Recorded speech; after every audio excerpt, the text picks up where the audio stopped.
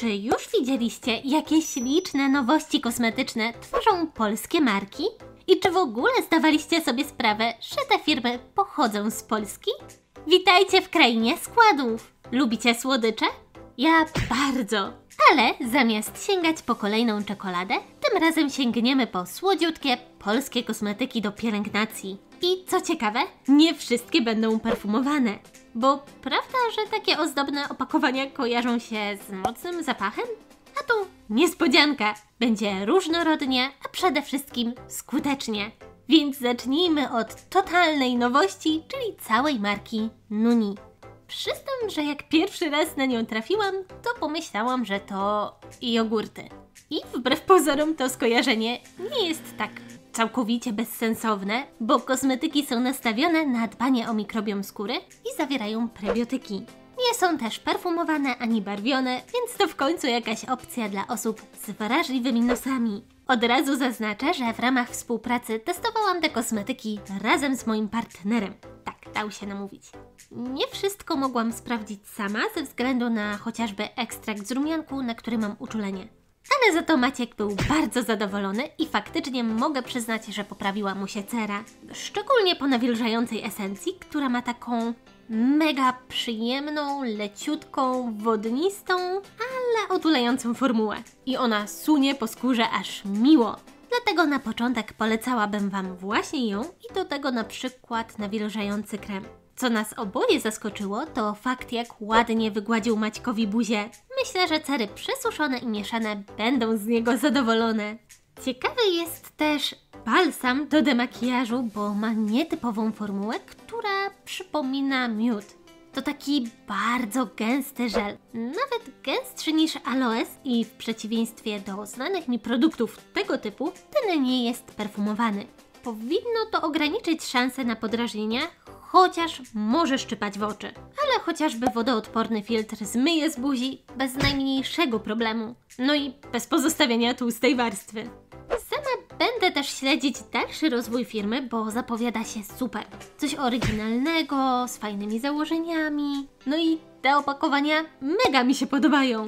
Poza tym, chcę ich wspierać też, żeby trafili do jakiejś większej drogerii. Póki co, po prostu zajrzyjcie do linku z opisu. Przy okazji będziecie mieć zniżkę. Następna marka to Klasyk, czyli Yumi. Numi, Yumi, Numi brzmią jak od jednego producenta, ale każde z nich to totalnie inna bajka i założenia. I przyznaję, kiedyś byłam przekonana, że marka Yumi jest z Korei. To, co na pewno warto podkreślić, to, że bazuje na aloesie i znajduje się on w każdym produkcie tej marki. Dodatkowo są one perfumowane, ale to zapachy owocowe. Może nawet troszkę jogurtowe, mleczne i totalnie nie są mdłe ani męczące. Nie chcę też tutaj przedstawiać każdego produktu, bo jest ich mnóstwo, ale pokażę kilka fajnych nowości. Na przykład suchy olejek. Wiem, że niektórzy czepiają się o nazwę do budowania więzi. Ale moim zdaniem nie ma co przesadzać. To słodka nazwa mająca bardziej nawiązywać do dotyku i bliskości, więc ja to rozumiem i nie nadinterpretowałabym tej nazwy, bo idąc tym torem można też obrazić się, no chociażby na szampon do włosów normalnych. Bo co? Bo producent sugeruje, że moje są nienormalne? Wiadomo, że nie ma tu złej myśli, jak było chociażby w przypadku Biotin, które wyleciało z Rossmana za niewłaściwe teksty. Oczywiście możemy o tym podyskutować, bo wiecie, to, że ja odbieram coś pozytywnie, nie muszą odbierać w ten sposób chociażby mamy. W każdym razie, co ważniejsze, olejek jest naprawdę świetny nie tylko dla maluszków, ale też dla dorosłych, na przykład po goleniu czy na jakiś balsam koi, chroni, wspiera nawilżenie i bardzo szybko się wchłania bez tłustej warstwy. A do tego cudownie pachnie. To jeden z moich ulubionych zapachów w kosmetykach ever. Jabłko rabarbar pachnie jednocześnie słodko, delikatnie kwaśno i trochę jak słodki kompot. Mega! Chciałabym taką mgiełkę zapachową. A niedawno stworzyli też całą serię do włosów. To znaczy Wcześniej już były szampony i odżywki, ale teraz są wcierki i peeling trychologiczny. No i ten peeling chciałabym szczególnie przedstawić. Jedni polubią tę pipetkę, a dla innych będzie mało praktyczna. Norma. Ja już się zwyczajnie przyzwyczaiłam. Ale mniejsza z tym, bo jestem bardzo zadowolona z działania. Świetnie odświeża skórę głowy i to nawet taką mocno problematyczną jak moja z LZS. W składzie mamy świetny składnik przeciwłupieżowy, o taki. A do tego oczyszczający kwas salicylowy i ekstrakt z wierzby białej, czy mnóstwo innych odświeżających ekstraktów roślinnych. Zero podrażnienia, żadnych wyprysków na skórze głowy, ani swędzenia i mniejsze przetłuszczanie. Totalnie warto polować na promocję. A powiecie na słodkość, ale taką bardziej elegancką? A nawet powiedziałabym, że ten typ produktu można nazwać zachcianką. Czyli ładne, ciekawe, skuteczne, ale trochę drogie. Czyli serum Dermika. A wiecie, że ta marka też została przejęta przez Bielendę? I to wcale nie jest źle, bo teraz te kosmetyki mają fajniejsze składy, a nawet bardziej eksperymentują, tak jak w tym przypadku. Zwróćcie uwagę na to. Kolor waty cukrowej, zapach kobiecych perfum i niecodzienna formuła kremowych kapsułek w gęstym żelu. Dziwne, ale jednocześnie bardzo ciekawe i mocno nawilżająco rozświetlające. W składzie też jest fajnie, bo mamy silne antyoksydanty, pobudzającą kofeinę, czy składniki, które dają efekt natychmiastowego wygładzenia. I okej, okay, to wygładzenie jest efektem zmywalnym, przecież pod makijaż to może być nawet lepsze niż baza, bo ma fajniejsze właściwości pielęgnujące. To nie jest może takie coś, co ło, musicie to mieć, ale to na pewno ciekawostka i coś dla dojrzalszych cer, które lubią coś z wyższej półki, ale też bez zbędnego przepłacania za samą markę. Bo sorry, nie akceptuję kosmetyków powyżej 300 zł. Nie wiem, co musiałyby zawierać, żeby mnie przekonały.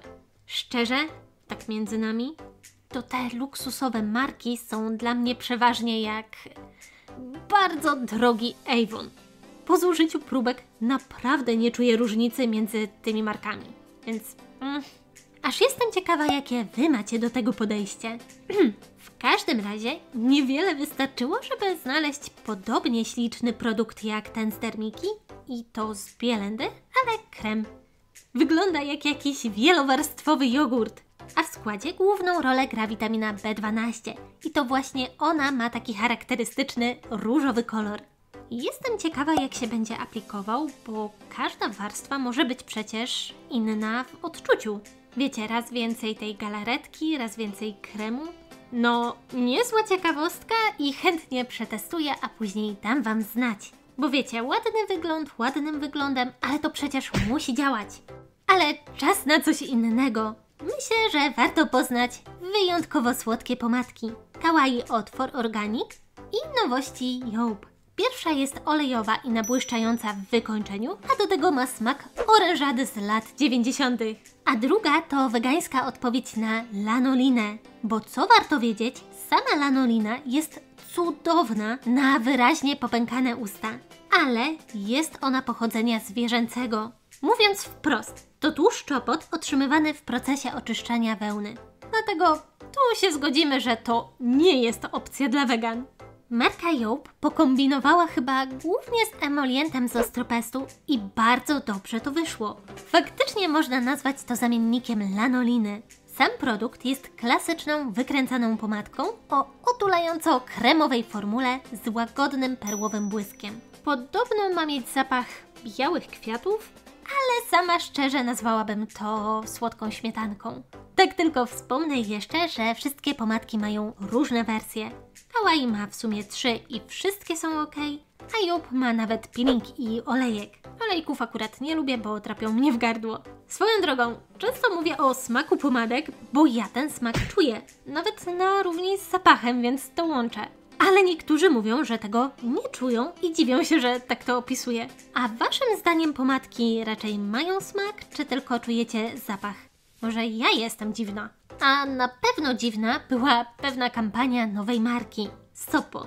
W pewnym momencie mogliście trafić na billboardy z napisem Gdzie są te pieski? No właśnie, jak się okazało, to na ich kosmetykach. Już mają plusa za kreatywność. Pieseczki jako motyw są cudowne, bo jeśli jesteście psiarzami, to na pewno docenicie taki element w swojej pielęgnacji. Uważam, że jeśli otaczamy się drobnymi, miłymi gestami, to w dłuższej perspektywie dobrze wpływa na jakość życia. Bo może zacznie się od jakiegoś ładnego kosmetyku, później umilania całej pielęgnacji, to przerodzi się w większą dbałość o cerę, a to z kolei da lepsze efekty i wpłynie na samopoczucie. To takie pozytywne domino, które możemy łatwo pchnąć w dobrym kierunku. W każdym razie, testowałam, podobało mi się, ale wiem, że nie będą dla każdego ze względu na chociażby intensywny zapach gumy balonowej. Ładny, ale wiadomo, nie każdy lubi. Za dużego wyboru w produktach tam nie ma, bo to aktualnie cztery kosmetyki. Jeszcze, ale czuć potencjał. Dlatego mam dla Was zadanie. Zróbcie dziś dla siebie jedną miłą rzecz i zostawcie proszę w komentarzu hasło hashtag pierogi, bo jak Polska to pierogi. A dziś się z Wami żegnam, słodziaki. Buziaki, pa!